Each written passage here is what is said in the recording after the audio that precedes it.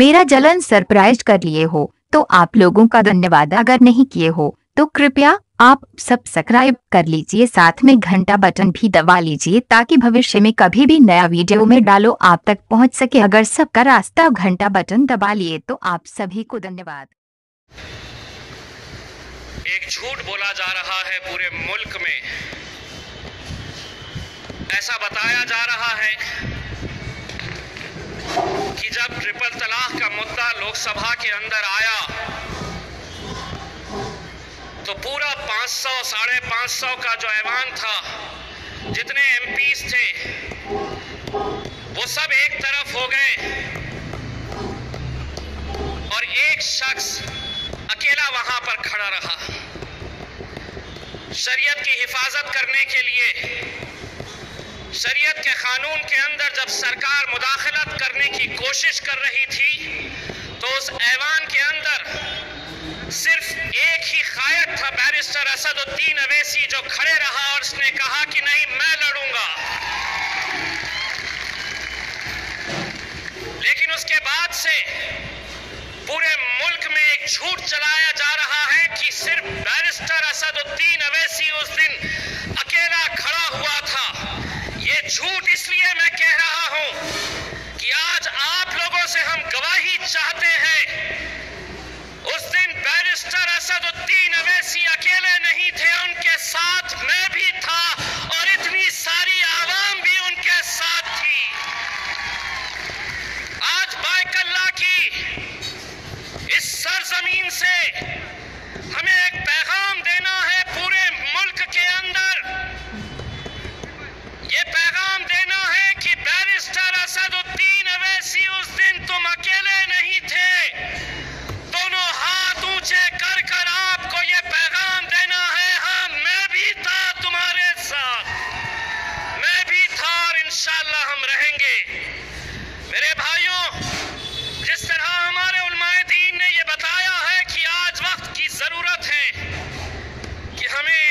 مقام کے اوپر آنا چاہیے۔ آج حد اس قدر پہنچ گئی ہے کہ ہم لوگ تماشائی بن کر دیکھتے جا رہے ہیں۔ اور حکومت اس حد تک پہنچ گئی ہے کہ وہ ہمارے شریعت کے اندر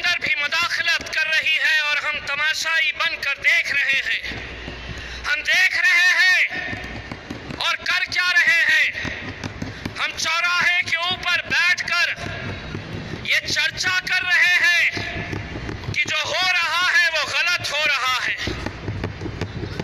ہم یہ چرچا کر رہے ہیں کہ ایسا نہیں ہونا چاہیے۔ لیکن اس کے علاوہ ہم کیا کر رہے ہیں؟ ہم نے ہمارے شہر کے کل اسی طرح کا جب جلسہ ہوا تو ایک مولانا صاحب کو ہم نے کہا کہ آپ سیاسی جلسوں میں نہیں جاتے ہیں۔ ہم ان سے یادبن کہنا چاہتے ہیں۔ آج اس ملک کے اندر جو سازش ہو رہی ہے، ایک سازش یہ بھی ہے کہ مسلمانوں کو الگ الگ مسلکوں کے اندر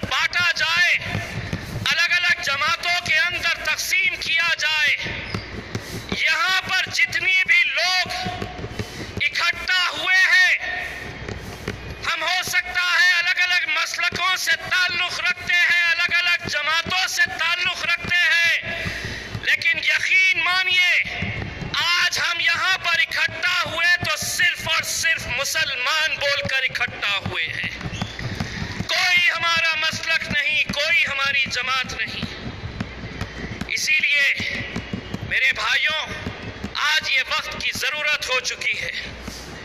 آج جو کوششیں ہو رہی ہیں، آپ کو ایسا لگتا ہوگا کہ صرف بات ٹرپل طلاق تک ہے۔ یقین مانیے، دو ہزار اٹھارہ، دو ہزار انیس تک آر ایس ایس کی یہ سرکار مسلمانوں کے بہت سارے قانونوں کے اندر چھیڑ چھاڑ کرنے والی ہے۔ انہیں اس بات کا اندازہ ہو گیا ہے۔ انہیں اس بات کا اندازہ ہو گیا ہے کہ اگر ہم ان کے شریعت کے قانون کے اندر بھی چھیڑ چھاڑ کریں گے تو کیا ہوگا؟ صرف ایک ہی تو ایم پی ہے جو مخالفت کرے گا۔ جس دن بیرسٹر اسد الدین اویسی صاحب نے شریعت کے لیے شریعت کے تحفظ کے لیے کھڑے رہے۔ اس رات ٹیلی ویژن ڈبیٹ کے دوران ہم سے یہ پوچھا جا رہا تھا۔ میرے ساتھی وارس پتھان سے یہ پوچھا جا رہا تھا کہ آپ لوگ کیوں اس کا اتنا بڑا بوال مچا رہے ہو۔ اس ایوان کے اندر تو بہت سارے دوسرے ایم پیز بھی تھے۔ وہ تو خاموش تھے۔ ہم انہیں یہ جواب دے رہے ہاں تھے۔ مسلم ایم پیز وہاں پر تھے۔ لیکن جب وقت کی پکار آئی تو صرف بیرسٹر اسد الدین اویسی نے مسلمان ہونے کا حق وہاں پر ادا کیا۔ باقی خاموش تھے۔ کیونکہ فرمان نہیں آیا تھا راہل گاندھی کی طرف سے کہ کچھ بولنا ہے یا نہیں بولنا ہے۔ پوار صاحب نے اجازت نہیں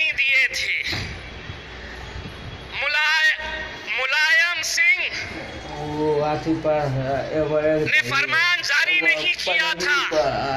تو جتنے بھی تھے خاموش تھے کیونکہ انہیں اپنے آقاوں کو خوش کرنا تھا اور میرا یہ خواہد ہے اسے اپنے آقا کو خوش کرنا تھا۔ دوستو ہم سے یہ سوال پوچھا جائے گا ہماری آنے والی نسلوں کے ذریعے۔ جب یہ کہیں گے کہ اس شریعت کے خانون کے اندر جب بدلاؤ ہو کیوں خاموش تھے۔ ہم یہ کہیں گے کہ ہم خاموش نہیں تھے ہم کوشش کر رہے تھے۔ نتیجہ جو بھی ہوگا میرے بھائیوں آج اس ملک کے اندر ایک ایسی ضرورت آن پڑی ہے۔ ہم یہ اب لوگوں سے کہتے ہیں کہ آواز کو تلوار کی چھنکار بنا لو۔ آواز کو تلوار کی جھنکار بنا لو، جینا ہے تو اپنی ہمت کو ہتھیار بنا لو۔ جس ایک شخص کو دیکھ کر تمہیں ٹیپو سلطان کی یاد آئے، اس ایک شخص کو اپنی قوم کا سردار بنا لو۔ جس ایک شخص کو دیکھ کر تمہیں ٹیپو سلطان کی یاد آئے، اس ایک شخص کو اپنی قوم کا سردار بنا لو میرے بھائیوں۔ بہت ہو چکا ہے۔ بہت ہو چکا ہے۔ ہم بٹ رہے ہیں۔ ہم تقسیم ہو رہے ہیں۔ اسی لیے ان کی ہمت ہو رہی ہے۔ لیکن آج الحمدللہ اس سرزمین سے ایک پیغام ضرور جائے گا کہ تم اگر یہ سازش کر رہے ہیں کہ مسلمانوں کو مسلکوں میں بات سٹیج گواہی دے رہا ہے کہ مسلمان ایک ہے اور انشاءاللہ ایک رہیں گے۔ اور جی، ٹرپل طلاق کے بارے میں کس کی سرکار کون چلا رہا ہے سرکار کو؟ کون وہ صاحب ہے جو یہ چلا رہے ہیں، یہ جو سب کر رہے ہیں، ان کے بارے میں تو بس اتنا ہی ہم کریں، کہیں گے۔ گھر کی دیوار توڑ بیٹھے ہیں۔ غیروں سے رشتہ جوڑ بیٹھے ہیں۔ کہتے ہیں، ہماری بہنوں سے بڑی ہمدردی ہے کتے کہتے ہیں، ہماری بہنوں سے بڑی ہمدردی ہے کتے جو خود اپنی بیوی کو چھوڑ بیٹھے ہیں۔ صاحب۔ آہ، کیسا یہ نظام ہے میرے بھائی؟ یہ کیسا نظام ہے؟ یہ صرف یہیں تک نہیں رکے ہیں۔ یہ شروعات ہوئی ہے۔ پہلے شریعت کے اندر قانون کو بدلنے کی بات کی گئی۔ اس کے تھوڑے دنوں کے بعد یہ کیا گیا کہ حج کی سبسڈی ہٹا دو۔ حج کی سبسڈی ہٹا دیں گے۔ تو مسلمان حج کو جائے گا نہیں۔ آج اس سرزمین سے بھارتیہ جنتا پارٹی نریندر مودی صاحب اس عوام کی طرف سے اور اس ملک کے پورے مسلمانوں کی طرف سے کچھ کہنے والے ہیں۔ ذرا کان کھول کے سن لو۔ کل جو ایک بادشاہ تھا، آج وہ نہیں ہے۔ زندگی بھر کے لیے تمہارے سر پہ تاج نہیں ہے۔ چودہ سو سال سے جاتا ہے مسلمان حج کو۔ تمہاری سبسڈی کا محتاج نہیں ہے، مودی صاحب۔ تم سمجھ رہے ہوگے؟ یہ کر لیں گے، وہ کر لیں گے دو ہزار انیس تک جو کرنا ہے کر لو۔ دو ہزار چودہ سے پہلے کیا بیچتے تھے؟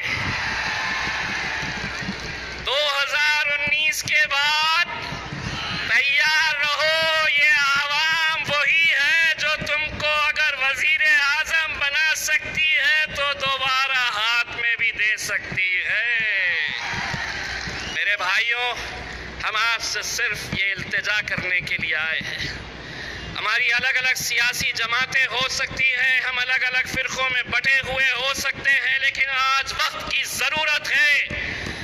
اس ملک کی یہ ضرورت ہو گئی ہے کہ ہم لوگ ایک پلیٹ فارم کے اوپر آنا چاہیے۔ اس ملک کے اندر ایک ایسا ماحول تیار کیا جا رہا ہے کہ اس ملک کے اندر ہماری بہنوں کو بہت زیادہ اتیاچار سہنا پڑ رہا ہے بھارتیہ جنتا پارٹی کی طرف سے ایک ایسا ماحول تیار کیا جا رہا ہے کہ مسلمانوں کے اندر ہر دوسرا شوہر اپنی بیوی کو طلاق طلاق چھوٹی چھوٹی باتوں کے اوپر دے دیتا ہے اور صرف بھارتیہ جنتا پارٹی نہیں یہ جو سامنے کھڑے ہیں نا، یہ لے کے انہوں نے بھی اپنا کام خوب انجام دیا ہے۔